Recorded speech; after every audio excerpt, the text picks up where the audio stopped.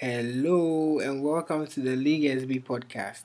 My name is Cephas and I greet you with goodness from wherever you are listening from. On this episode of the League SB podcast, I'm going to be speaking with one of the OGs of skateboarding in Senegal. For those who don't know, Senegal has got one of the best skate scenes on the African West Coast. This goat of a human has been around from when the flame was first lit to now. He's got a heavy bag of tricks so definitely don't play a game of skate with him. Not only that, he owns and operates a skate shop in Dakar. Let's welcome Aziz. What's good, my brother? Bro, I'm good. What about you? Feeling excited, bro, and just wants to start shooting the questions. So, how did you get into skateboarding? Uh, I think I got my first uh, board in like 2006 and it's my my uh, my cousin my cousin gave it to me and uh, so that's pretty much how I started skateboarding. Okay, so were you a straight ripper? Um, I mean, like since you got your board, you've never put it down, or you kind of like slow down a bit and then pick it up. Would like to know that story too. So when did you really, really start skateboarding? I would say probably 2008 because for like two years I didn't know that you could actually actually do tricks with a skateboard.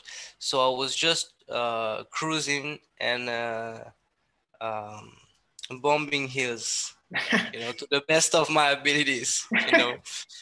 and uh, after those two years, uh, like start getting curious about uh, or I saw some some some skater do some tricks on the TV, I think, or on the internet, and I started searching for trick tips and tricks, learning um, uh, the name of the tricks and starting to watch trick tips, trying to learn the tricks, and so yeah, I would say I started really, really skateboarding in 2008. Mm, 2008. That's a good amount of time to, I think, build up confidence. I, yeah. But then, how did people in your neighborhood take it? I mean, like, you see, when you start skateboarding, people in the neighborhood start to look at you like a different kid. Did you have someone you skated with or someone who helped you out? Until I learned how to do the kickflip, I was just skating in my in my garage, you know, and uh, and pretty much doing this, trying to learn kickflips all day long, you know. And after that, I met some other skater in like the French military base that, that was in Senegal and we started to skate together and have a little crew of our own. And that's how it started to to to spread. Skateboarding started to spread in the town. But there there was a generation before all of this. But they they were like older. So when we started they was they were actually they was already like mar- married and with kids so they pretty much started stopped skateboarding, you know. Hmm. People growing up. That's the saddest part of skateboarding. Um, how is the scene like of late? The the skate scene here in Senegal, uh, uh, it has gone full cycle again. Like um, after the generation that had started with uh, uh, everybody like went their own way, stopped skateboarding, went to friends, blah blah blah, doing their their thing, you know. Uh, skateboarding died here. Then another another generation came. It's like skater of Senegal, Afro Goons, everything, and now this guy pre- don't really skate anymore. So it's like back to zero again. so so I kind of like witness it three times like skateboarding going up and down in Senegal. So now it's like skateboarding is kind of not here anymore, really. But There's then no you guys reason. have got some top rappers though, like Jonathan. Yeah. Yeah, Jonathan, bravo, bro. Yeah. These guys get really good, but uh, unfortunately, they have other things in mind. You know, they working stuff like that. So I guess they don't really have time to skate every day, like Yeah. in high school. And adult life, I guess. Hmm. That's a baba. But do you guys have parks in Dakar? uh, we had uh, one park in the French military base, but it was like kind of you had to be French and uh, know people there to actually skate the park. So we, but it was a, a, a long time ago. But we didn't even skate a lot there because we couldn't, we didn't have access to the park. And then I think in 2013, uh, we we had another we had another park, but it was again from uh, it was a private park, and uh, the the fee to skate there was like uh, three thousand CFA. I don't know how much it is in uh, your currency, Yeah. but But you know, so like yeah, it's a lot. It's a lot. Like you can, yeah, at three thousand CFA, you can like, it's a it's a day of work for from some people. So you not, it's not really, yeah, bro. You you can you can eat, bro, chicken and shit all day long with that money. You know. Uh, uh, pretty much to sum it up, it's like two two hamburgers, Oh, two okay. uh, in a good fast food. Yeah, So, Big Mac. Yeah, type shit. Oh shit. But yeah, So now now we we have a, a third park that that is in construction right now, and it will be public. And it's I think constructor with who building it. It's uh, I think um a French uh, company that builds a skate park in France. oh nice. So I think I think yeah yeah Mm, it will be good for the skate scene. You know. Yeah. Yeah, definitely good for the scene. But parks are one thing and skate shops are the other. And I know you've got a skate shop. Would like to know the vibe around it. Everything, bro. We uh, we had two skate shops in Senegal. Both of them closed because I uh, I think it's because the skate scene was kind of unstable. So I don't know. They I think they didn't get much client and shit, so they had to to close the, the shops. Yeah. But uh, right now, I started uh, uh, my sketch shop, so uh, it will be easier to get boards to everybody. yeah. So I'm I'm really trying to um do the things at the same rate as the the skate scene uh, goes here. I don't know if it's uh, like it's clear what I'm saying. Yeah, bro, I get your point. So if it slows, you slow. If it goes Yeah, up, you know, yeah. I, I'm coaster. trying to do it like that, so guys will have uh, uh, board boards and shit if they want to skate, because um, it, as you know, it's kind of it's not easy to get boards in Senegal, in Africa. I mean, Yeah, so so yeah, we need we need at least uh, one skate shop in town so everybody can get boards, you know, and you know if somebody buys a board, he he gonna skate it, but if somebody needs the board, he gonna pass it to to somebody else, you know. Yeah. So we just need some a flow of boards, bro. That's it. After the rest, we gonna we gonna do our thing, you know. But I point, bro. but we need we need boards, so that's why I started it. Mm, And uh, yeah, yeah, I guess the more the level will grow up, the more the scene will need uh, good skate gear, uh, exposure, uh, quality parks, spots, everything that goes with the skate scene, bro. So nice. Um, by the way, I kind of like forgot one question though. So, what's the state of like the other parks? Have they been bulldozed down or something? bro, the um, um the park, uh, the one that is 3000 CFA, this one is like they cut half of it and they made a, a soccer field, a football field. So uh, there is only like a, a pyramid left and that's it. And like a few waves, a quarter pipe.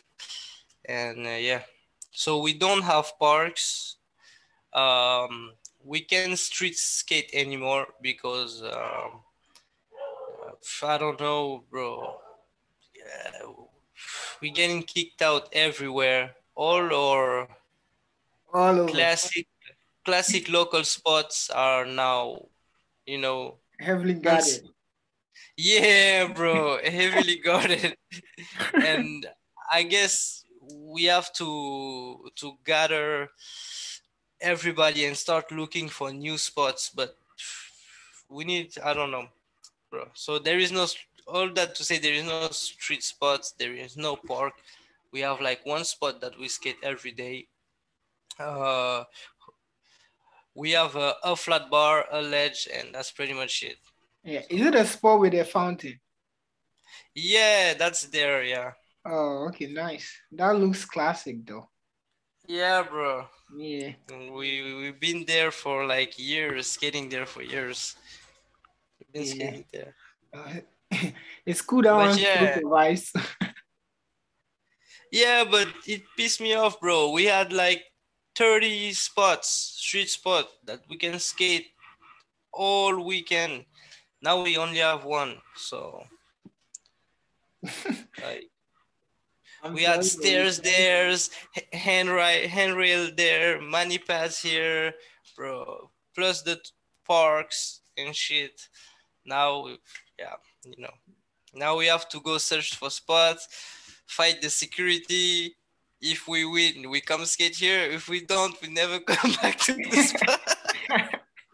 Um one of the sport like you see there's this one sport i don't know how to describe it, it looks like an enclosed space with a drop. Oh yeah. It's like uh just uh you know at the plaza souvenir the one with the fountain?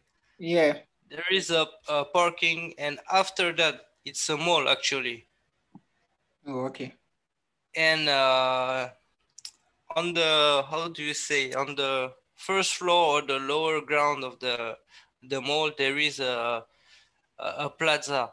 Like they do events there and people used to like uh, the the youth used to come hang there hang out there. But now uh, there is not much people, so that's why we can skate there. Oh, wow. uh, but sometimes like they they pull up like five or six security guards and they say, "Nah, you can't skate here." I don't know. Even though there is nobody, there is no fucking body there. Yeah, that's one thing I don't get though. It's like they just want to stop skateboarding. I don't know why though.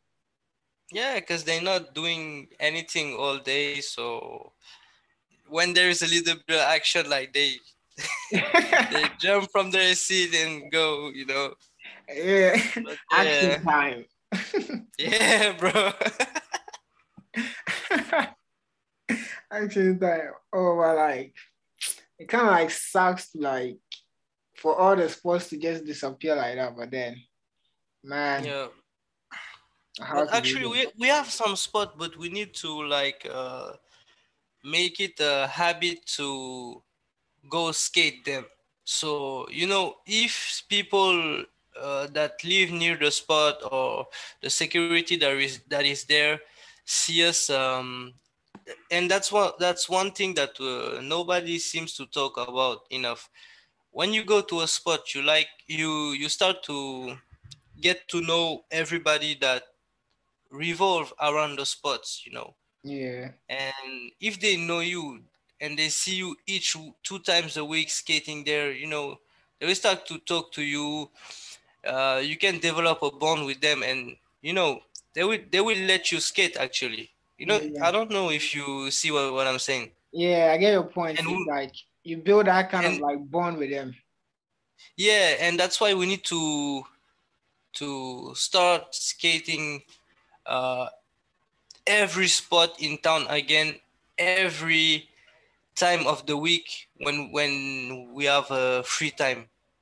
Because we will know actually the the circuit of the town, which spot we can skate, which spot we can skate at what hour, how many time we, we can skate this spot before we're getting kicked out. So I think that's what is missing with the new generation of skateboarder here in Senegal. That's why we not like um, we we lost our street skateboarding spirit because it's part of the, of the game to get kicked out to be on the search for skate Okay. spot you Yeah. know so Um, just wondering, how often do you guys meet up to skate? every saturday people are skating but not everybody in the crew Oh, okay. so So maybe there is there will be two three skaters but every saturday there will be people skating. Oh, but all the crew uh i think it's more when we party you know? Maybe when there is an event like uh, a best trick or new ramp something like that oh, okay.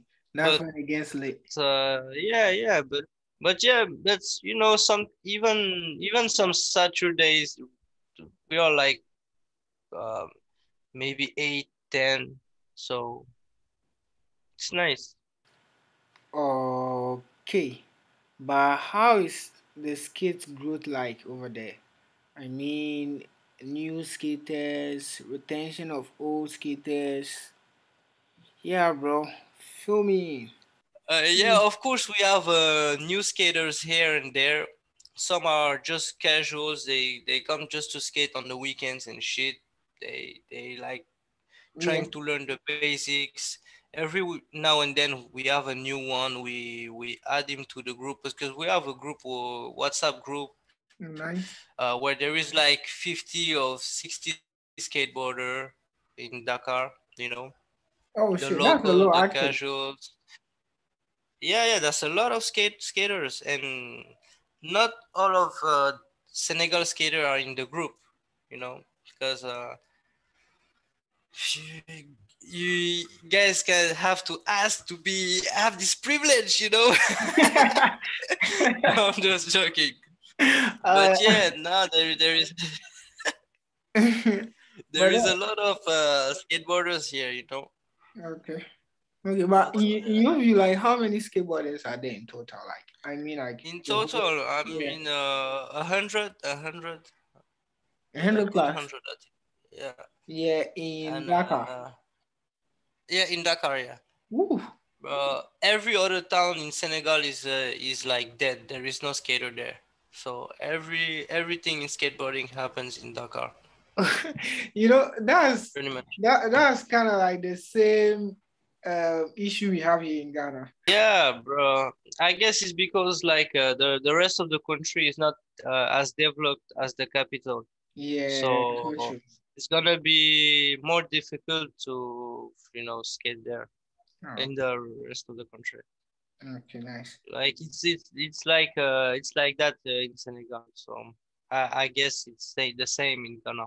Yeah, I'm sure it's the same across the whole continent. Yep, yep, yep, yeah, yeah, yeah, yeah, bro. It's the same. How often do you skate nowadays? I don't know, bro. Like I think. Ah, really depends. Like sometimes I can skate a whole week, and sometimes I don't skate for months. Like I don't know. Um, But any reason for that? Any reason? The skate scene is like not really interesting. So if uh, things was moving, were moving a little bit, I would like invest myself more. But I don't know. I feel like I'm stagnating. If, uh, you can say that. You need some skate hungry homies to live with. Yeah, yeah, exactly. Yeah, because I always kind of had the homie who say who would say, "All right, let's go there." You know, you pull up to the set set of stairs. You don't even warm up. You try like it's crazy, you know. And having those kind of um, people around you gonna definitely mo- motivate you. So yeah, yeah. The we don't speak about yeah. Actually, we do speak about it a lot, but that's true. Uh, the squad is really important, bro. Street skating by yourself is good, but uh, it's hard to get the same drive to go skate some stairs, some rail alone that uh, you will have with the squad. Yeah. A squad uh, where everybody want to get their clips, their tricks, you know, their, you know what I'm saying? So yeah. Yeah. I get it. But do you lose tricks since you are on and off the board? Ooh. Uh, I think I only lost tricks that I that I didn't finish learning, but all the tricks that I learned properly, uh, I feel like I need uh, two or three sessions and I can do them again. So, mm, not really. Uh, and uh, it it take me years to lose a trick. Really, uh, really lose it to and to the point that I'm uh, uncomfortable trying it. So, like uh, when I was a kid, I was doing late shove-its like like a motherfucker, bro. every day, every session, bro. and uh, I didn't do him for like ten years. Now I can't even. I don't know the timing. When do I shit? When do I? I spin the board. I don't know. So it's weird, and and because do it. Yeah, bro. But then you you posted a late flip recently though. The one I was making fun you see in slow mo. Yeah, but it's late flip. Like late shoves, I can do them, but late flips, yeah. So yeah, late flips, I like uh, tried one one day, uh, like a long time ago, and uh, I quickly understood that yeah, late flip, late flip is it's my it's my shit, you know. I know if I if I uh, try late flips uh, like one session on on ten, I won't lose them, you know. But bro, like definitely thanks, thanks. Merci beaucoup. Merci. okay, merci à toi. nice, bro. Thanks for listening, everyone, and kindly like and subscribe. It goes a long way to help us bring you more. Till next time, goodbye and have fun.